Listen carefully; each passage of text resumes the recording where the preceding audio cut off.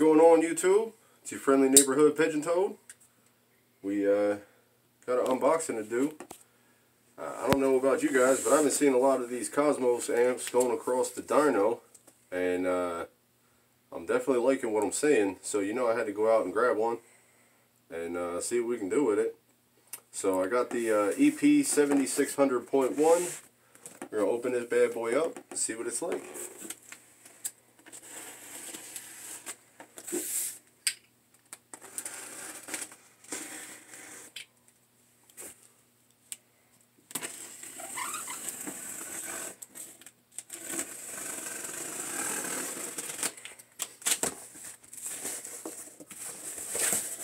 Alright, so the packaging at least seems solid off the start.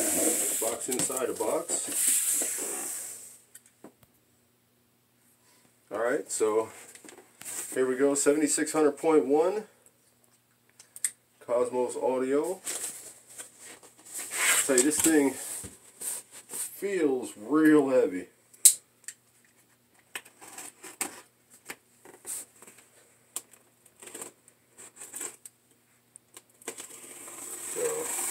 Don't know about anybody else. This is the first time I've seen one of these in person. You know, other than on videos. So it's definitely got some good packaging on it. Alright, so we got the, uh, I'm guessing this is the bass knob. Let's see. Everything's taped up. With the uh, clipping light, power light, you know, standard bass control.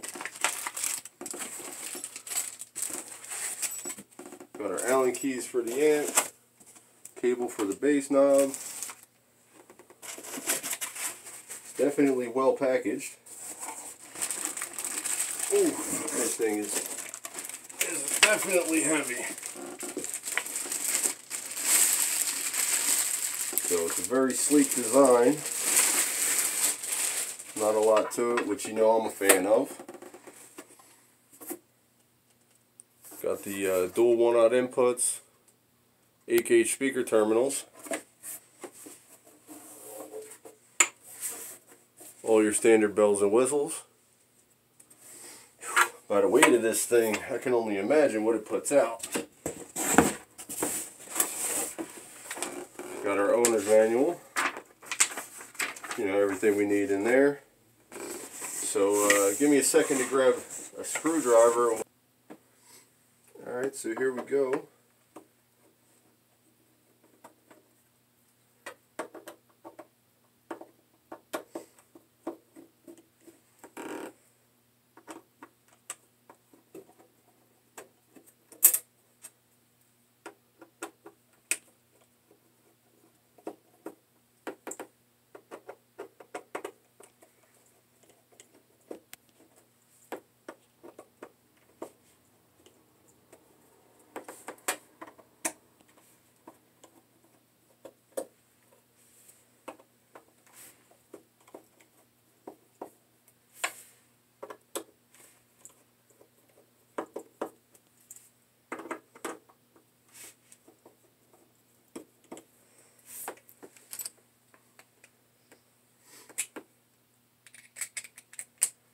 Alright, so there we go. Let's see what we're working with in here.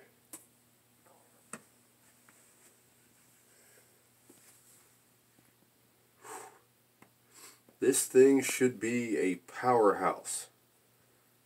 So I'm gonna guess that uh, on those uh, dyno videos they weren't they weren't playing. This thing's definitely got everything you need in it. Whew. Can't wait to see what happens when it powers up. Alright everybody. So you'll see in a, in a video coming in the next couple weeks. We'll get this in the car, get some testing on it, and uh, see what we can do. So give me a thumbs up, subscribe, and we'll see you on the next one.